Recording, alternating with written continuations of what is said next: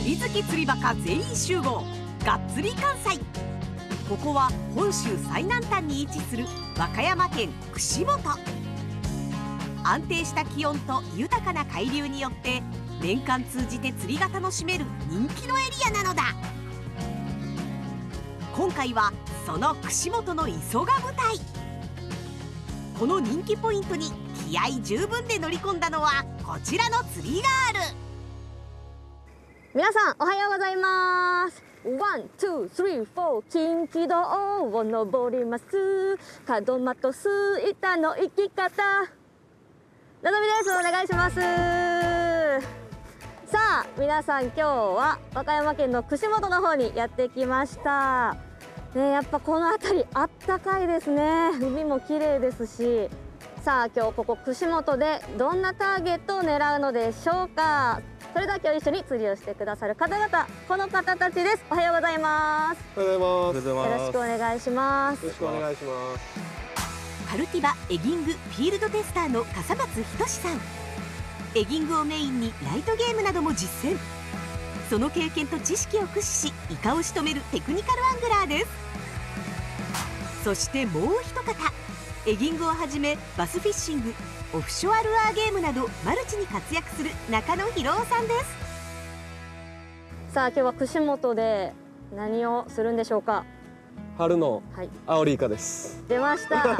アオリイカ。はい。いや正直、はい。この春のアオリイカって私めちゃくちゃ難しいイメージあるんですけれども、はいはいはい。実際どうですか？そうですね。ちょうど時期的にもね産卵控えてるんでう、ん。うん、イカ自体がこうナーバスな感じで、うん、まあちょっと優しい感じのアプローチで今日はちょっと狙ってみようかなって思ってます。優しい。優しい感じで。なるほど。じゃあそのアプーローチの仕方も後々教えていただいて、はい、はいまあ回遊で回ってくるかなっていう感じなんですけど内容としたらちょっと1か0かっていうような釣りになるかもわかんないです。釣れてもいい。じゃあ中野さん今日のなんか戦略といいますか意気込みお願いします。戦略ですか、はい。とりあえずまあひたすらしゃくるですかね。優しくひたすらしゃくるあ優しくしゃくる、なるほど、はい。それでじゃあみんなでいっぱいどうにかね。そうですね。釣れたらいいですね。はい。はい。はい、じゃあ今日は三人でよろしくお願いします。お願いしおます。願いします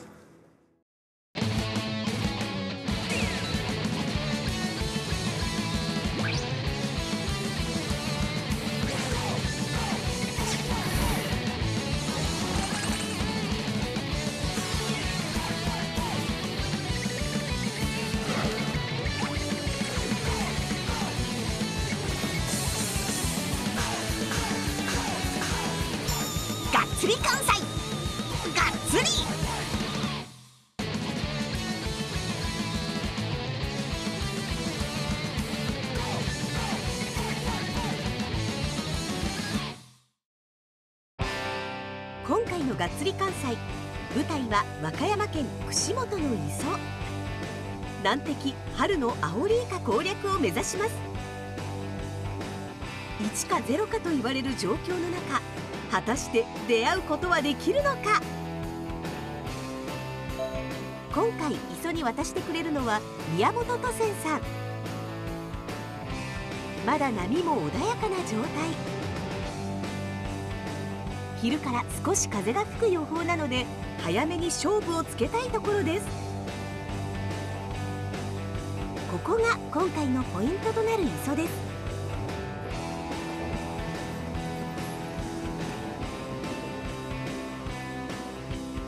準備に余念のない笠松さん。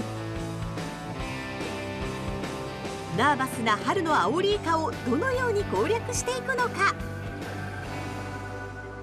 えー、と竿は、はい。えー、とエギングの専用ロッドでだいたい8フィートぐらいのロッドになります。はい。でリールは、まあ、2500番の小型のスピニングリールっていうんですかね。で PE が、えー、と0.65はい。で PE からリーダーがまあついてるんですけども、まあ、リーダーで、えー、2.55うん。であともうエギ。はい。もうめっちゃシンプルな釣りですこのエギもなんか特徴があるんですか？そうですね。えっ、と、まあ、ドロー4っていうエギなんですけどアングラーがこう入力したあの命令を素直に聞いてくれるエギっていうのが特徴で例えば、はい。竿を高いところでしゃくれば、エギはししっかり横に飛んでくれるし、前の方でしゃくってこう速いテンポでしゃくればこう手前に素直に動いてくれる。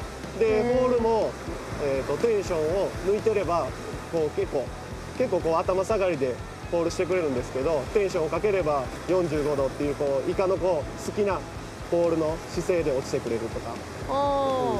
いろいろ素直で使いやすくってまあ、トラブルも少ないエギで、はい。すごく使いやすいです。今回のエギングのタックルはご覧の通りです。さあ春イカエギングいよいよスタートですえー、とそそのもう入ってきたイカを釣っていくっていう感じになるので、釣り方的にも、はい。えー、と大型ほど結構こう底の方をゆっくりこう泳いできたりしてて春の大型で絞って狙うっていうんであればできれば底付近をこうゆったりとしゃくって、まあ、見せるだけ見せたらこうしばらくこうボトムに置いてみたりとかはい。そんな感じでこう狙っていく感じですね。さっき言ってた優しくっていうの優はそういうことですわかりました。優しくしゃくって、はいこう待つはいはい。じゃあ行きます。はいじゃあ優しさをちょっと優しさはいはいわかりました。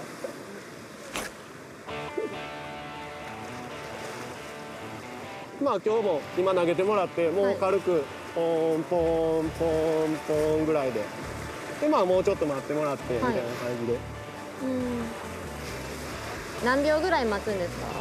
そうですね。もうそこについてたらまあ三四回しゃくっても、うんそうですね。5秒とか10秒ぐらいではもう絶対そこの方についてるんで、うん。ついててもちょっとこうゆっくりこう待ってゆっくり近づいてくる間を与えてあげるっていうようなイメージ、うん、でねやっぱりそうやってこうイメージしてはい。釣りしてると、い。やっぱりこう釣れた時に嬉しいでしょ。あ自分が釣れたっていうより釣ったっていう感じが出るんで、うんうんうんやっぱり水中の中をイメージして釣りするのは、まあ、上達していくための第一歩かなの様子を想像するってことです。か水中の様子をイメージする。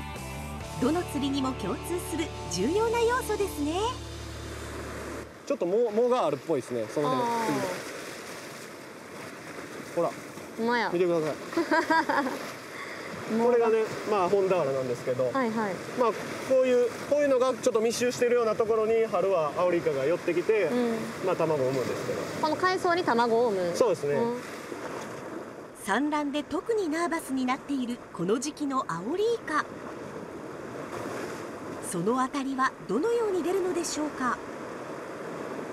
まあ、待ってる時に竿先がこうグッとこうちょっと引き込まれるような感触があったりとかあとまあ落ちてる時って基本重さに対して糸がピーンって張ってくるんでそこについた感触以外でふっとこう糸が緩んだりとかっていう時は基本イカの当たりだと思ってください。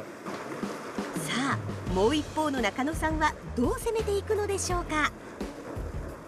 ちょっとまあ昨日前日雨降ってちょっと濁りちょっと入ってるかなって思ったんでうん。ちょっと赤っぽいエギでシルエットはい、はっきり見えるかなと思ってこれ実はあのケイムラカラーって言って、はい。あの紫外線で発光するタイプなんでまあ、そっちの面でもちょっとイカにアピールできるかなと思って、はい、ちょっと僕はこっち側の岸寄りのはい。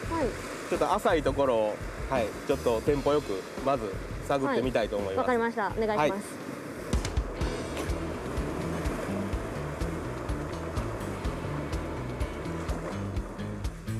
のぞみちゃんも釣りを開始。置き目を狙ってキャストしていきます。ちょうどねそこの湾からこっちにかけて深くなってってるんですよ。南紀の磯に足しげく通う笠松さん。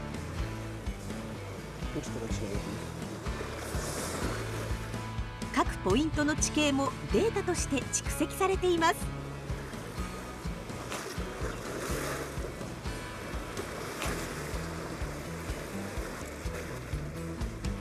回こそは強敵春のアオリイカを手にしたいのぞみちゃん。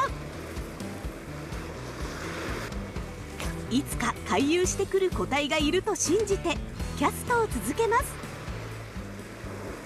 当たりとかも糸ピンピンに張って無理に取りに行く必要はないです。結局あんまり糸張りすぎるとエギがこう波でこう前後前後したりしてエギの動き自体に違和感出るんですよね結果的に合わせ、ね。しゃくった時に合わせれるから。そうそうですね。ラインを張りすぎるとエギが引っ張られ不自然な動きになってしまいます。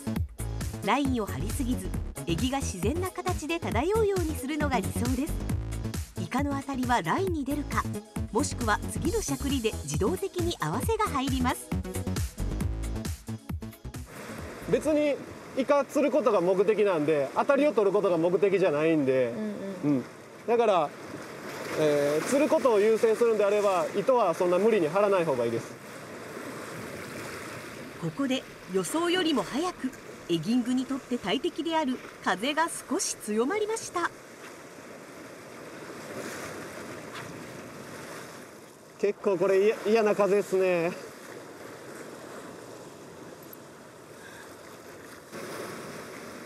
若干多分潮こっち向いて流れてるんちゃいます？この潮目やったら。うん。この真ん中らへんのモヤモヤがちょっと左へ押してってる感じですもんね。あ風は強まりましたが同時に潮も効き始めたようです。めっちゃ魚飛んでますわ。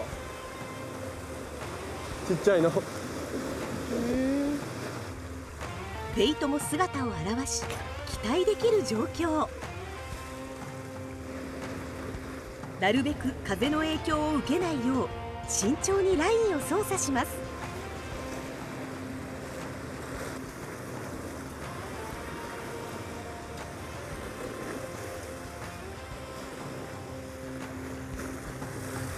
よっしゃ来た。すげえ。今トンって当たりました。おお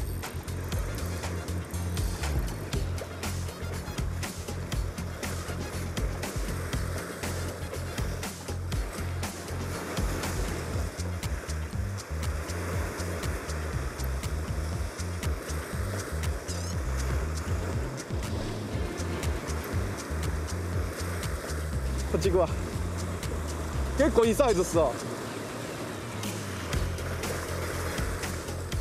まあまあええサイズ、うん。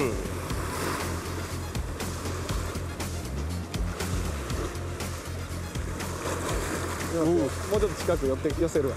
おお。こっち行こうか。はい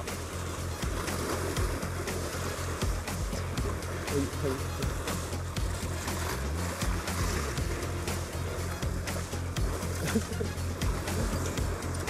よかった。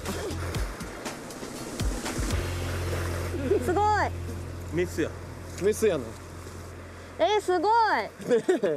え今どんな感じやったんですか？いやもうしゃくってホールしてたらもうパーンって感じです。へパンってえ当たって。メスメスっすね。メス？はい。なんでわかるんですか？このねは斑点が点々なんですよ、斑点が点々。ここの点斑点が、はい。はい。でオスは線なんです横横線なんです。うわーよかった。ちょっとねドキドキしましたね。しまねねまだしばらく私見られへんもんやと思ってたイカの姿は。朝がちょっと静かすぎたんでね。でも見れたからなんかちょっと元気になって元気出ました。可能性あると思うんで、ね、まだまだ続く串本エギングゲーム。状況悪化の中春イカ攻略なるのか？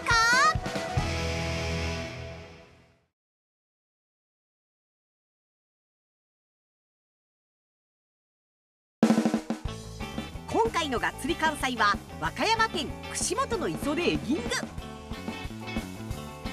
アングラーから大人気のこのポイントを舞台に1か0というテクニカルな釣り春のアオリイカに挑むのだ。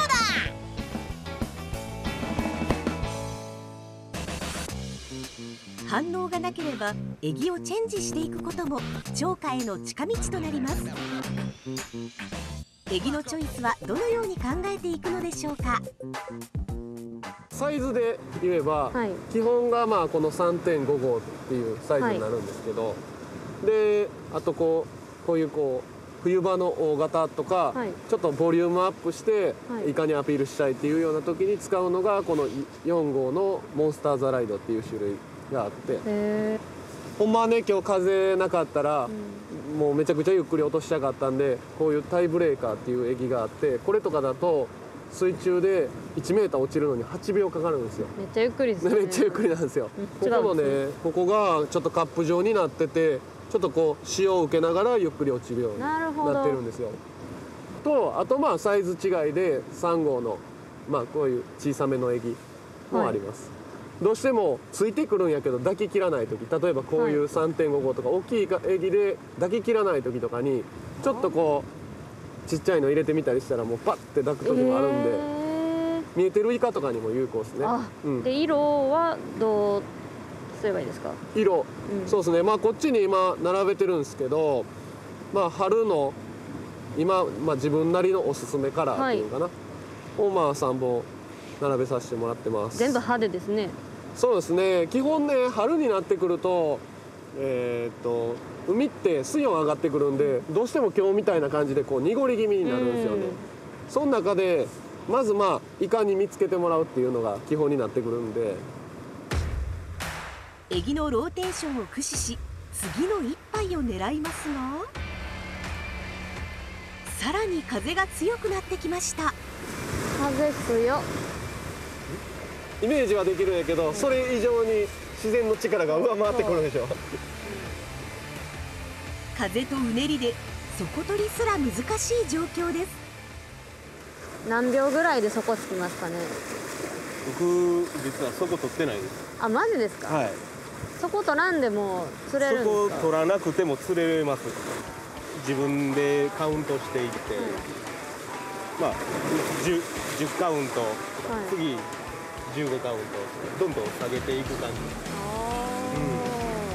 やっぱりその潮の重たいところ引き込まれたりするとこってやっぱこの海の中にあるんでそういうとこあったらそこ何秒だったって覚えといてそこを重点的にやったりとか、さあこの状況下でさらなる一杯を仕留めることはできるのか。少しでもイカとの接触確率を上げるため粘り強くキャストし続けます。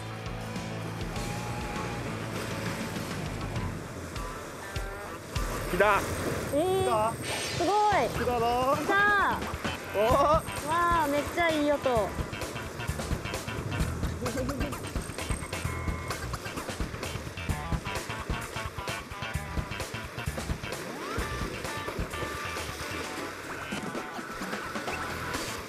ょそっちへ行くわ。いいはい。そう。よっしゃ来たおおすごい。今どんな感じだったんですか？今ずーっとあの若干潮左向きに流れてるんで、それにまあ乗ってゆっくり流してたらギューって持ってった感じです、えー、これ群れで来てるんですかね？一匹だけでこのねあの黒い斑点はい。あったらなんか結構周りにおるって言われますけどね。え？そうなんですか？え、はい。この斑点？これ？えー、じゃあもしかしたらいるかもしれない。いるかもしれないです。わあ今のうちに釣らないと。すごい。おめでとうございます。ありがとうございます。まだロケで春のデカイカを手にしたことのないのぞみちゃん。今日こそリベンジと決意して挑みましたがそう簡単には釣らせてもらえないようです。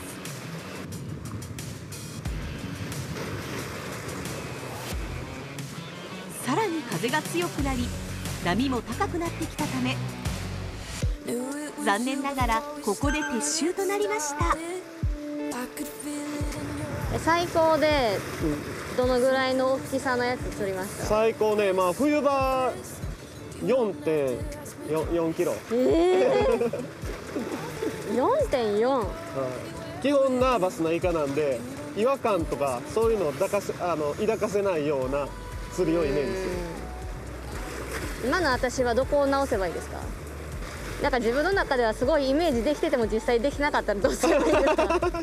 それも合ってるかどうかも分かんないんですけど、まああくまでねイメージなんで、はい。うん。ずれていることもあると思うんです僕でも。ただけどそうやって釣ることでやっぱりエギングの面白さっていうのもあると思うし、自分でイメージできて攻めた結果が釣ったやと思うんですね、はい。こうなんかようわからんけど釣れちゃったではなんかこう、うん。うん、次へのこうなんていうのステップとして進みにくいんかなって思ったり。そっかイメージしててそこでねヒットしたらイメージ通りやってなるなるってことですね。奥が深い。そうですね。ね。でまあ釣れん時はやっぱりつ釣れんこともあるんですよ。だけど、うん。まあ、そんな時ってやっぱりいくら深く考えてもそんな答えって出てこないんですよ。うんうん。まあけど釣れた時ってああこうああやってこうやってこうやったから釣れたんやっていう過程があるんでそこをまあ大事にしていったらまあ次へつながっていくんかなって思います。釣れんかった時はもう今日はおらんかったんやなって思ってもいいと思いますもう。なんかあれですね笠松さんに人生相談をしたくなる 奥が深くエキサイティングな春のエギング。のぞみちゃんの挑戦はまだまだ続きます。